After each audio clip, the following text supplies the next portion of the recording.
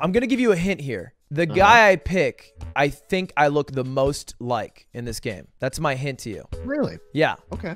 I think you're lying to me. No, I picked the guy that I think I resemble the most. And then Is you it can. soul read time?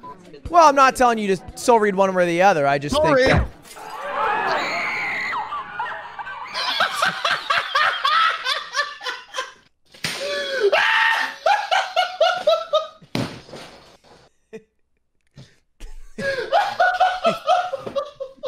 My guy felt like a cartoon character. Oh my god. I'm insulted that you thought that's who I picked. that was funny. That was funny.